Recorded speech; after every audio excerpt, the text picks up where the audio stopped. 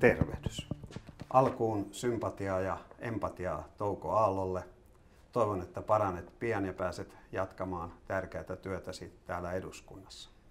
Minulla on itsellänikin kokemusta siitä, että terveysmurheet rajoittavat työuralla tehtäviä valintoja. Ja pitää sanoa, että ei tuo sinun terveyshuolesi ole minullekaan omakohtaisesti vieras. Mutta mulla on kolme visaista kysymystä vihreille. Ensinnäkin. Tässä on eduskunnan tietopalvelun laskelma vihreiden vaihtoehtobudjetin vaikutuksesta.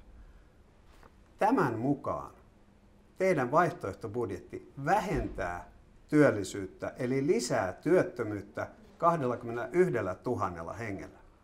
Vihreät, oletteko sitä mieltä, että Suomessa on niin vähän työttömiä, että teidän lisäbudjetilla, anteeksi, varjobudjetilla, pitää ehdoin tahdoin pyrkiä työttömien määrää lisäämään.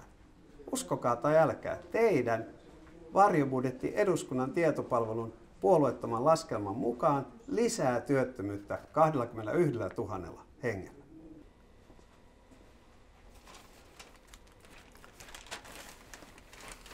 Terrafamen kaivos Kainuussa.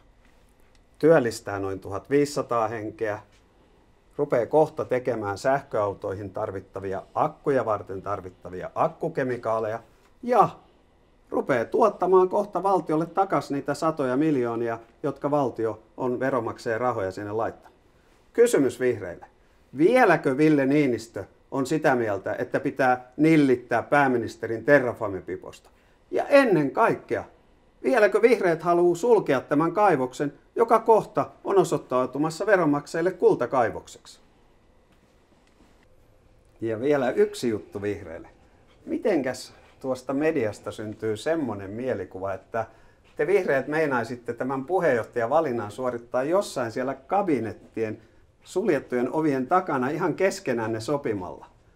Ei kai tällainen vanha, tunkkainen toimintatapa voi teille kuulua kai te viette asian avoimesti sinne puoluevaltuustoon, että puoluevaltuuston jäsenet aidosti pääsee äänestämään ja valitsemaan sen uuden puheenjohtajan.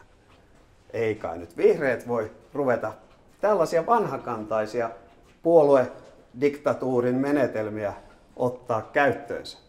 No joo, tämä tällä kertaa. Eipä sitten muuta. Moi! Älä.